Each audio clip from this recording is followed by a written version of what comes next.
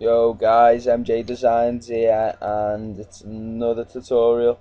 In this tutorial we'll be showing you how to install fonts and brushes off the internet into Photoshop. Alright, so let's get started. Um, you're gonna need to go onto the internet and onto a font, onto a font site called dafont.com. I'll leave the link in the description for you and the, there are like hundreds of fonts here and you're just going to select one you like. I'm going to use this one in the tutorial today and you're just going to head over to the download button and it should download in the download bar. If you're on Windows, if you're on um, Internet Explorer, should download it. It should um, save into one of your folders. But then you're just going to open it up and drag it to your desktop. You're going to right click and click extract files you might need WinRAR extractor for this, so I'll leave that link for the download in the description as well. So once you've um, extracted that folder should come up on your desktop and it should have your TrueType font file installed. Next you're going to go over to control panel, um, appearance and personalization and down to fonts. Now on Windows 7 it's pretty easy, just you just drag it in really.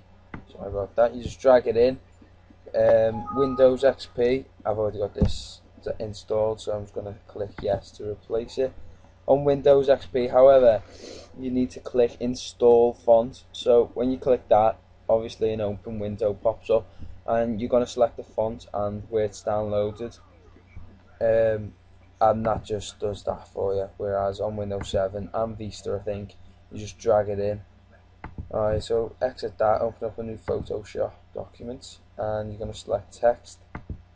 And my text already already selected, but if yours isn't, scroll down the menu and look for it.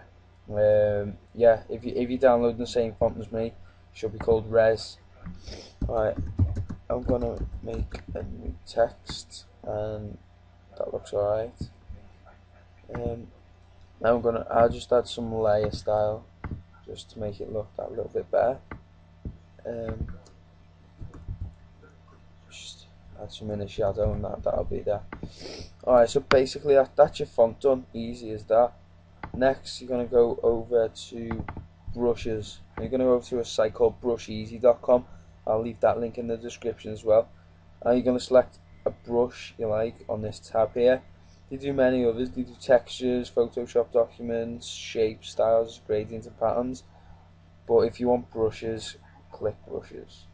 Now you're going to go and download file and if this window pops up, click just let me download the file. I'm not a frequent user and it should download in the bar below. Right, so you're going to need to minimize that and drag it once again to your desktop.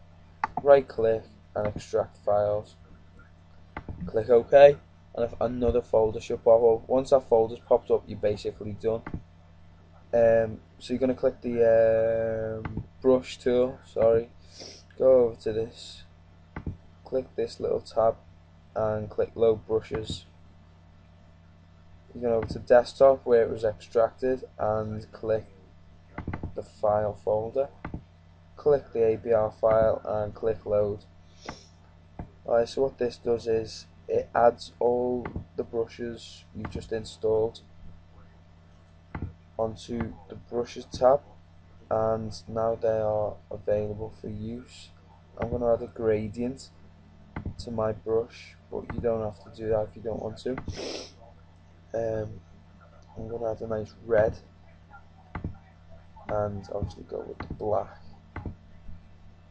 and that should be that. I'm just going to change the size of it, make it a little bit bigger. And that's that really. It's not the greatest brush in the world, but it'll do for now. Um, looks quite nice. Um, this one's quite elegant, but there are many other brushes. There's Sparks, many others. Um, this one yeah, as, as I say, guys, it's just a basic tutorial. Um, it will help a lot of people, so if it has helped you or helped your friends or something like that, just please click the thumbs up and subscribe. Um, I will be bringing more advanced tutorials out later on by request, but at the minute I'm just going to stick to the basics and help quite a few people out. with quite a few frequently asked questions to be honest. Alright guys, so tutorial is just about finished, so if I've helped, please click the thumbs up and the